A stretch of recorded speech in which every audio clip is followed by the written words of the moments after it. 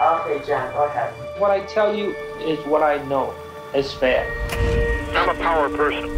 I enjoy power. Nobody else had the guts to pull off what I pulled off. I outsmarted you again.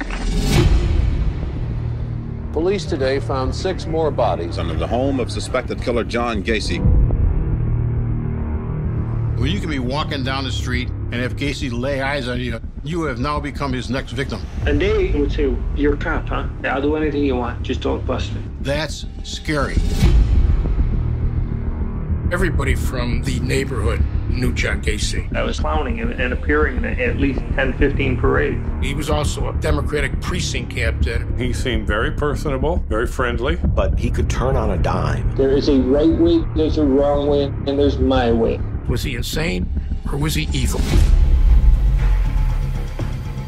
I look for young, clean-cut, virile looking. To be gay in the 1970s, there was so much prejudice. We find out that, yeah, there's a kid, he worked for Gacy. I haven't seen him in a while. I know this guy, he worked there, he's missing too. A lot of officers were telling parents they're runaways, your, your kid will be back any day now. A lot of conversations with end with, good luck with that.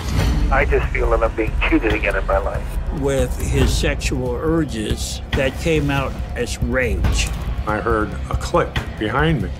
It was a revolver, and he had it pointed at my head. Nobody wants to accept what the hell I say. He was playing a cat and mouse game with the police department. You can't let Gacy go. If he tries to leave, you gotta shoot his tires out. Whatever was there, we had to find it.